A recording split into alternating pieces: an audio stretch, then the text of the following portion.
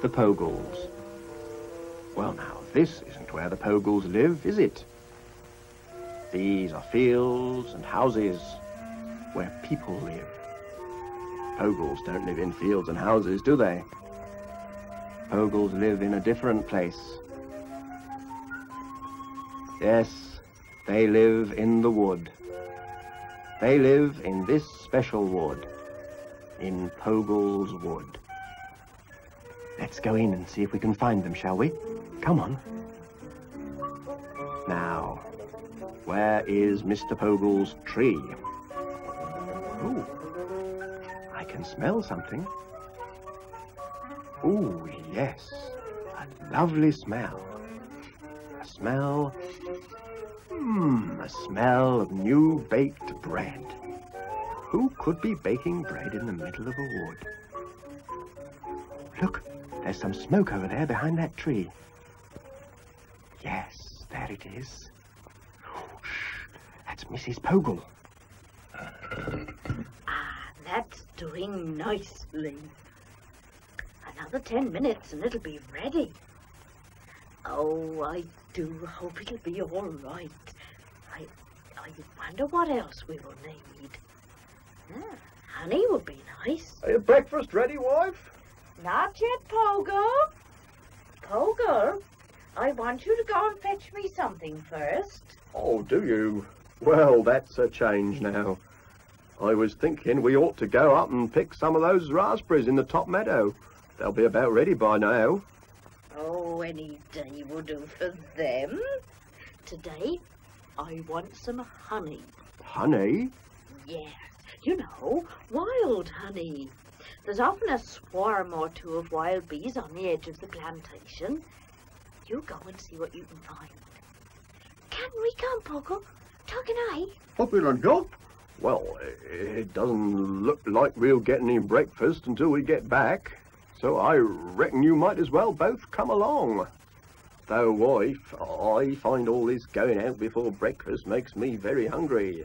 I'll have a proper breakfast waiting for you when you get back. Ah, like always, I know.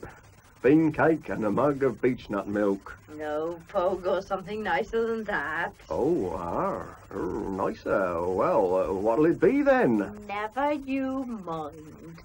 Now you go and fetch that honey. Go on now. Here's the little can. Off you go, all of you. I'm busy.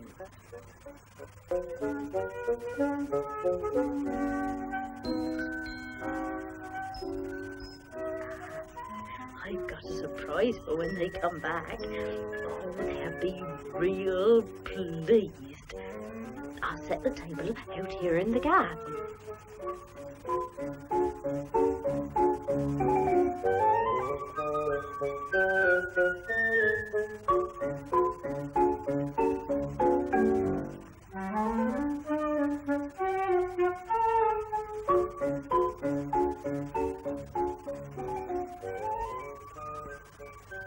Now then, Pippin and Tog, we'll sit down here. Now you sit down while I tell you about bees and I'll tell you about honey. Now, honeybees are collectors. They fly around until they find a flower they like the smell of. And then they land on the flower and crawl into it. And there's sweet stuff in the middle of the flower, sweet stuff called nectar. Now the bees collect this and fly away with it to their hive where it is stored as honey. What is a hive? A hive is a bee's house. Like our house? Well, uh, well, yes, a bit like our house. Wild bees make their hives in hollow trees, but, uh, well, they aren't the same really, not inside. Well, for one thing, there's thousands and thousands of bees in each hive, and they're all busy all the time. They're collecting honey and fetching it back and storing it and uh, looking after the young bees and that. If we find some wild bees, I'll show you the hive. But the first thing we must do is to find a bee, any bee, and then we have to watch it. And when it's collected enough nectar, it'll fly away back to its hive, and we'll have to follow it. Oh, look at that, mate. Where? Oh, yes. Yes, look. You see? It's climbing into the flower. You have got good eyes, Tog. Now watch it very carefully. Oh, look, there you go. Quick, quick, quick, then, after it, Tog. Don't lose sight of it.